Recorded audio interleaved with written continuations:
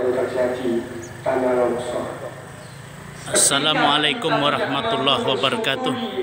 Alam yang luar biasa Allah berikan kepada kita, termasuk lingkungan kita kotor lingkungan Inilah kita. suasana sampah buang sembarangan, got-got tersumbat, Salat Jumat. eceng gondok masih banyak sehingga enam Di Masjid di Lamongan sampai hari ini Agung, Lamongan, dari tidak Jawa. Timur.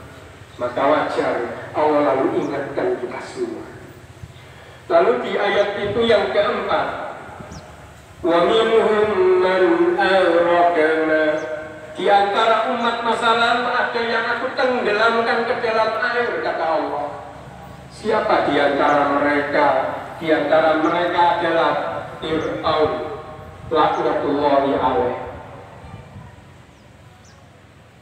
Fir'aun berbuat zalim.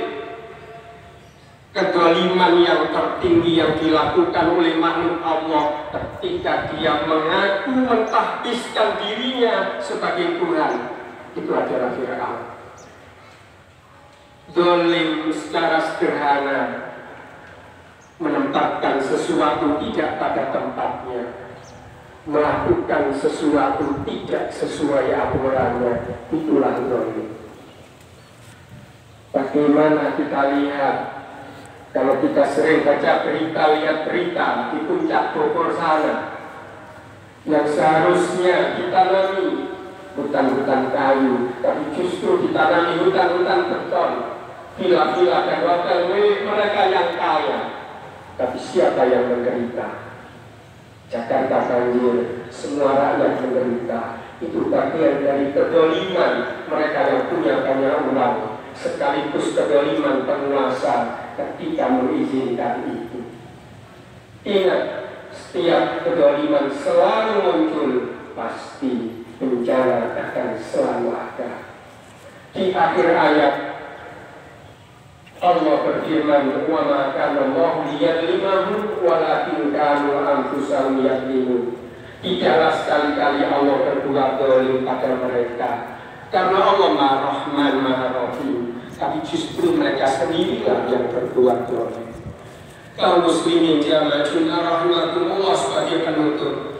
Ayo kita ingat surat Al-Anfal, surat ke-8 ayat 33 Allah berfirman, "Wa ma Allah Allahu wa antafihim. wa ma Allah Allahu wa hum yastaghfirun." Ayat ini menjadi solusi supaya bencana tidak bertubi-tubi terjadi Ayat ini menjadi solusi supaya kita mampu menghadapi berbagai ujian yang terjadi. Wa ma kana Allahu yu'adzibahum wa anta.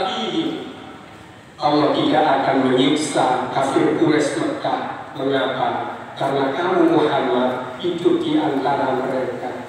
Ini artinya ayo kita totalitas cinta kepada Rasulullah dalam artian konsekuensi dan kontinu laksanakan perintah Allah dan Rasulnya. Totalitas dalam menjauhi larangan-larangannya. Termasuk di dalam itu adalah kita taat pada peraturan pemerintah termasuk